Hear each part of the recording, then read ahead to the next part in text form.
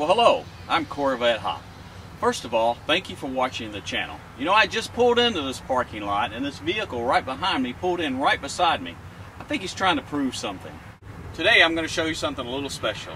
I'm going to show you the proper wire locations on a C3 Corvette starter motor. With that, let's go ahead and get started. Okay, go ahead and jack the car. I always put it on the Rhino ramps.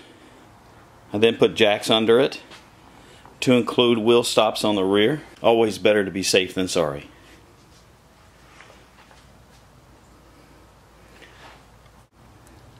The starter motor, of course, is on the passenger side, the rear portion, bottom portion of the motor.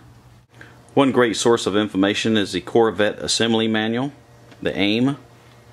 This is for the 1969. And I'll go ahead and flip it over to starter motor.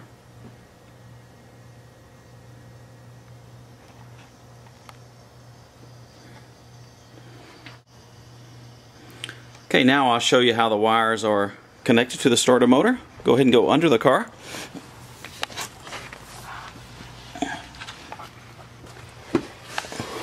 This is the starter motor on the passenger side of the engine, of course on the bottom.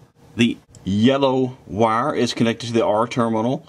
The purple wire way here in the back is connected to the S terminal the large, thick black wire, of course, is connected to battery power. And of course, the red wire is connected to the BAT terminal.